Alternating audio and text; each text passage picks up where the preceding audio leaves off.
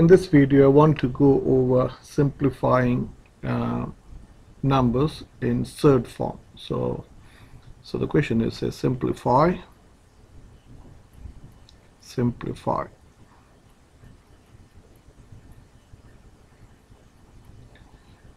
So the question is say 3 plus root 7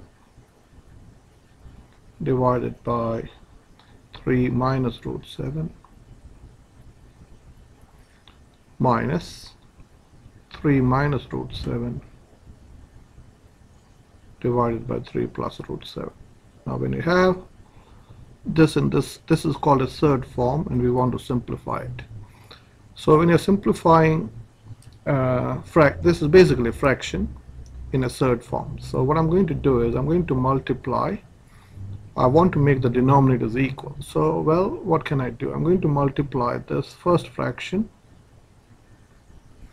by root the numerator by 3 plus root 7 if you look carefully that is the denominator of the second fraction. So as I multiplied the numerator by 3 plus root 7 I should multiply the denominator by 3 plus root 7 I just multiplied by basically 1 so now you can pause the video and try to do the rest if you can. So for in the next bracket sorry in the next uh, fraction we need to multiply by the denominator of the first fraction. So this is 3 take away root 7 times 3 take away root 7 divided by 3 plus root 7 times 3 minus root 7. So now I'll pause the video and try to do the next step if you can.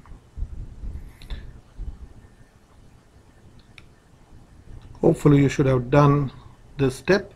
So basically you're multiplying the two brackets. So 3 times 3 is 9 this is 3 root 7 plus 3 root 7 is 6 root 7 and root 7 times root 7 is 7. So I put this in the bracket same way and the denominator is 3 you can use the formula of a minus b times a plus b. So that is 3 squared take away root 7 squared which is 9 take away 7 and same way you can expand this you will get this. So let's simplify this further. So 9 plus 7 is 16 plus 16 plus 6 root 7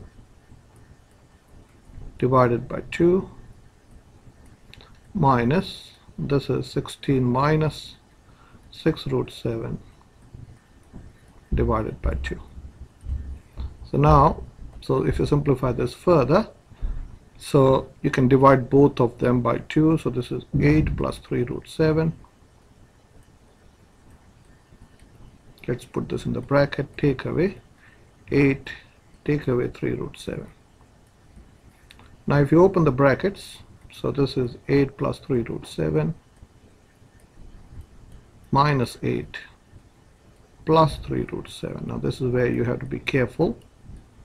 And uh, this and this gets cancelled. So the final answer is 3 root 7 plus 3 root 7 which is 6 root 7 okay now just for practice let me write one example uh, you can make up your own example like this. So this is a 4 plus say root 5 divided by 4 minus root 5 minus 4 minus root 5 divided by 4 plus root 5 so that is basically the same process. Try to do this yourself. So you can make up your own numbers uh, and uh, simplify. And you can also check this on your calculator. I'll pause this and so this answer, this is 6 times root 7. You can confirm this on the answer on a calculator. So I'll show you how uh, to do that on a calculator. Okay, now if you want to check this answer on the calculator, so let me get my calculator. So, so we know the question, so we can go to run menu, menu run.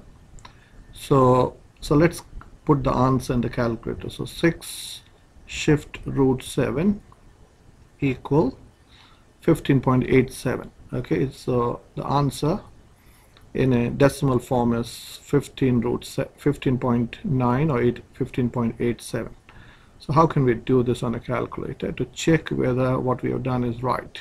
Okay so let me oops. Okay so that's fine. So start with a bracket like this. So 3 plus shift root 7 divided by 3 minus shift root 7 so that's the first fraction. Take away 3 minus shift root 7 close the bracket divided by open bracket 3 plus shift root 7 in the NCEA level 3 these questions are achieved level questions so you should be able to check your answer. And this is 15.87 so your answer is answer is right